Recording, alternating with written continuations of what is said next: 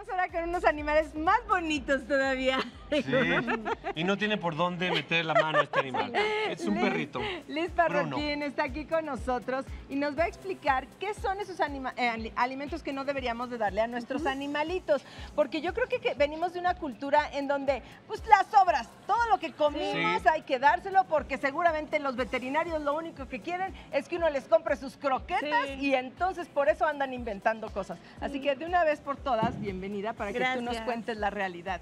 Sí, bueno, o sea, es importante saber que hay alimentos en casa que pueden ser tóxicos, alimentos y plantas que mucha gente no sabe que, que al dárselos les están haciendo un daño, ¿no? En vez de, a lo mejor tú lo haces como por consentirlos, por, ay, bueno, es que mira cómo me ve con su carita de perrito, pero realmente, o sea, podemos a futuro hacerles un daño, no siempre es como inmediatamente eh, el problema. Como por ejemplo, ¿cuáles no podría comer? Por ejemplo, el chocolate tiene una toxina que se llama teobromina y esa toxina afecta eh, gastrointestinal y al sistema nervioso. A ver, vamos a hacer la prueba, vamos a darle un chocolate. Ah, no se no, estoy bromeando, tranquilo. Entonces, es- Sí. es, importante lo que acabas de decir, porque hay gente que dice, ay, pues yo le he dado chocolate y no le ha pasado O nada. muchos niños también, cuando hay niños en casa, a veces no sabes qué le están dando y llegan a, "Eh, no, es que no sabía en O consulta. sea, los más peligrosos, Sí. diríamos, sería el chocolate. chocolate. ¿Cuáles son- ¿Cuál otro sería muy peligroso? La cebolla y, y el ajo eh, lo que hacen es que causan anemia hemolítica. Eso quiere decir que destroza los glóbulos rojos y puede haber diarreas orina con sangre. Entonces es muy importante pues, evitar muchísimo eso, ¿no? El aguacate también es súper tóxico desde la planta hasta la carnita, la cáscara, todo. Y el hueso pues puede ser causa de obstrucción.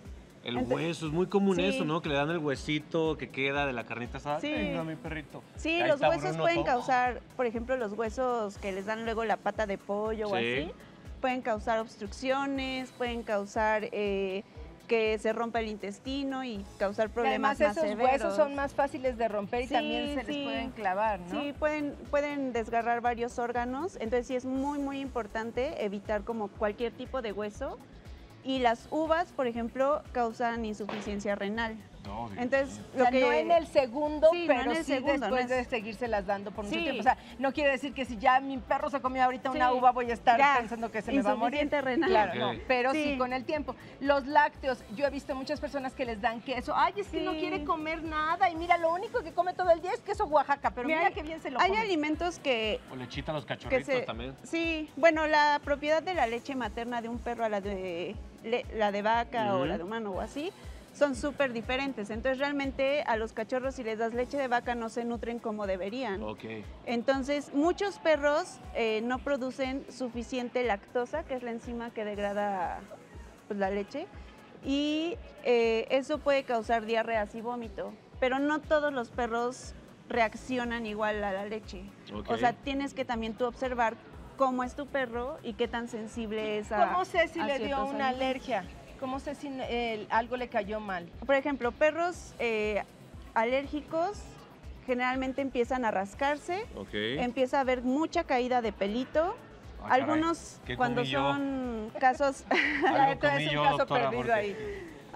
algunos casos severos se ven las ronchitas o se sienten las ronchitas en la piel, a veces pueden tener vómito, diarrea y ya en casos así muy muy severos se hinchan de la cara, como las fotos esas que les picó la abeja, así súper O sea, ya es llegado. muy obvia esa Sí, reacción. una vez me llegó un perrito que se comió la lasaña No y llegó diga. así, Como Garfield. como, como globo. sí. Oye, ah, ah, yo he visto imágenes que me han traumado donde veo perritos comiendo pasto y luego vomitando. ¿Esto Sí. qué? ¿Lo debemos dejar a que lo hagan o qué pasa ahí? Pues no lo puedes evitar porque Ujú. es un comportamiento canino.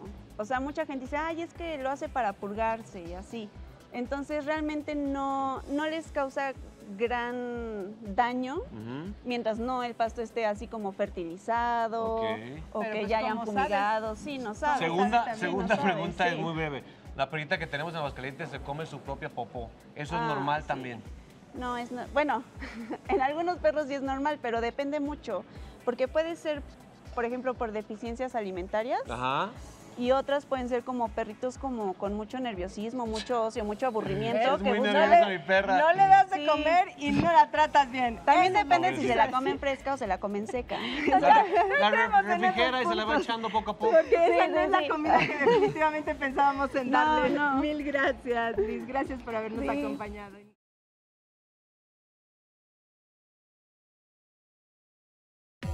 Querida familia de Venga la Alegría, antes de que sigan viendo más videos, tenemos un mensaje muy importante. ¿Ya se suscribieron a nuestro canal de YouTube? Es súper fácil, solo píquenle aquí, abajo en el botón. ¿eh? Así no se perderán los programas, los juegos, los debates, reportajes, la cocina de Mariano y mucho más. Así que ya lo saben, súmense a nuestra gran comunidad de más de 2 millones de suscriptores y recuerden que juntos hacemos que... ¡Venga la alegría!